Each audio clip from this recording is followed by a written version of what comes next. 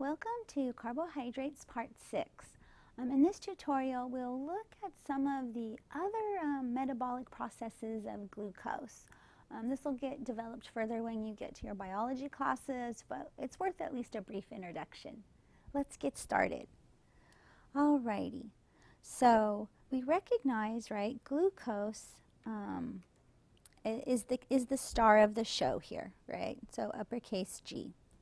And we've looked at that um, if we have too much glucose, then we can store it as glycogen, right, a polysaccharide. So we have our monosaccharide glucose and our polysaccharide glycogen, and, right, and that's all about energy storage. So um, if we have plenty of glucose and we're ready to store, then we describe that as glycogenesis, right? So we're going to make glycogen and, right, genesis, right, the creation of glycogen. So that would be here. And think about that in terms of, and that's our energy storage mode. So when all is going well and we're rich and have lots to eat, we're in glycogenesis mode. However, when we need that glycogen for exercising or that sort of thing, um, or we don't have as much food and so we need some energy sources, right? So we're going to take that glycogen and lysis. We're going to split it apart. We're going to, um, right? So, oops, I don't know why I did that in red, right? So then we have when energy is needed. Okay, so the, um, right, so remember to think about um, glycogen is basically animal starch. That might be helpful to write in right? So it's a polysaccharide, right? And you think of it as animal starch, how we store sugar. Alrighty. Um, we won't look closely at this next branch, um, but glucose can be converted into ribose, which we need for RNA. And so um, because we're going from a six carbon sugar to a five carbon sugar, we call this the pentose pathway. And that's all we're going to really say about that right now. Not too much to say there. But now we will look at um, these important pathways, right? So glucose to pyruvate, we've studied that in great detail, right? That is glycolysis, and so that's right here. And then um, one last term is what happens, um, what happens if we're running short on glucose, but we need um, pyruvate or um, we need energy. So then we have the term gluconeogenesis, right? So here is where we get the breakdown of proteins in the liver to form glucose from amino acids, right? So this is a like a new source, right? So outside of the carbohydrates, right? So getting glucose from non-carbohydrate sources. And so that would be gluconeogenesis right here. Okay, so we've got these all broke down. There's that one. Okay, so you want to um, be familiar with um, these terms and be able to, right, if I was to um, obscure, obscure these labels, you should be able to fill in the blanks, complete the diagram using, using the, the terms that we have just been introduced to. And then let's look at this very briefly in terms of the regulation of glucose with um, energy metabolism. All right, so um, there are two main hormones that are secreted by the pancreas that play, play a major role in glucose metabolism. So one is for after we've eaten, right? So right after we eat, we are going we're going to have a rise in blood glucose because we're going to start breaking down the foods in our body to get the glucose. And so at that time, the pancreatic beta cells will release insulin right? And so the release of insulin um, allows glucose to enter cells faster. It breaks down the glucose um, by glycolysis. It helps with glycogen synthesis, um, increasing, and it helps with the synthesis of, um, of lipids and proteins, right? So it's all about breaking down that food and, um, and, and so we can use it for energy and to make other important biological molecules. Now, when we have a falling, a falling um, blood glucose level, this means that we've either been fasting, right, or we're starving, right? So sometimes it's intentional and sometimes it's not. So then the pancreas is going to release the alpha cell from the, from the pancreatic alpha cells, they will release glucagon. Right? So glucagon is all about um, glucose entry to the cells has slowed down. So that means we have to start breaking down glycogen. And um, we're going to start looking at other sources of energy, breaking down those proteins um, to get glucose. And that's where nucleo, um, gluconeogenesis starts, right? So we, if we connect this now to up above, right? So this would be the glycogenolysis, right? And this would be the gluconeogenesis happening here. And then conversely, with, um, with insulin, right, glycogen synthesis, so that would be glycogenesis. And then, of course, there's glycolysis.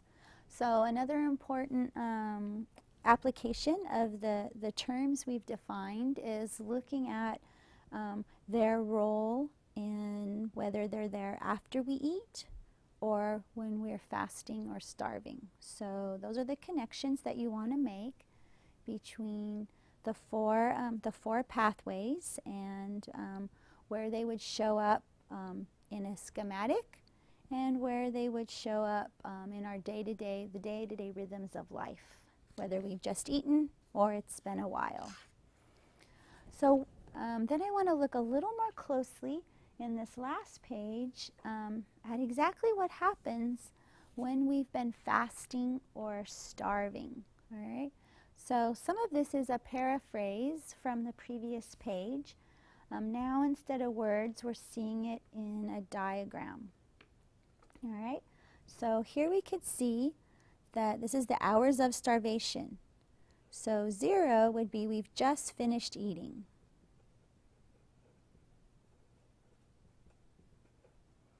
Okay, so when we've just finished eating, what we, what we saw on the previous page was, right, insulin's released.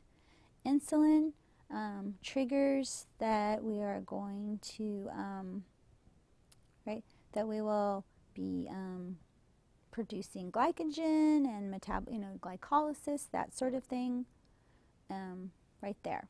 Alrighty. So right after we've eaten, we're going to have glycogenesis and glycolysis occurring. And so that, that um, leads to, uh, what do I want to say there? All right, I think that's enough. Now, let's look at what happens um, right? So once we finished in eating, insulin released. Okay, and so, and that's going to trigger glycolysis and glycogenesis. Now, we, the part that I want to look at a little more closely then is we get this gradual decline in blood sugar. So as the blood sugar declines, right, that's going to trigger the release of the glucagon. All right? And so, right, so the lowering of blood sugar triggers the release of glucagon. And so then what that does is then that triggers the, um, the, the glycogenolysis and the gluconeogenesis. And so we see that we start to get a buildup of um, of free fatty acids. And we see our liver glycogen starts to drop. And then this is the key part that I wanted to talk about. We'll see a rise in the ketone bodies, right? So everything in red is, right, triggered by fasting. Alrighty. Okay. Something that's very interesting. Um, okay, so let's keep talking about the ketone bodies for a minute. So the ketone bodies form from an excess of acetyl-CoA. And it's interesting because brain and other tissues catabolize the ketone bodies to produce ATP. So it's basically like the ketone bodies are an emergency energy source because we're not getting food, whether we're choosing to fast or because none's available.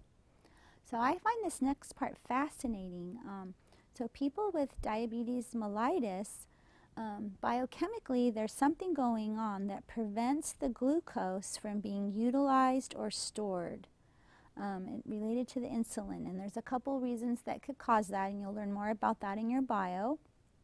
Um, but the point is, is basically that a person with diabetes, in essence, is starving to death because the body cannot utilize the glucose. It um, it has to go into the gluconeogenesis and starts breaking down fats. And the consequence, whether we're fasting or we have diabetes, we get a buildup of acetyl-CoA. And that acetyl-CoA leads to the formation of the ketone bodies. So now we want to look a little more closely at these ketone bodies. Alrighty. So here we have two molecules you should recognize, right? This is the acetyl-CoA, and we have a buildup Right, so through that buildup of acetyl-CoA, then the acetyl-CoA molecules start reacting with each other, producing coenzyme A, and then here are the ketone bodies.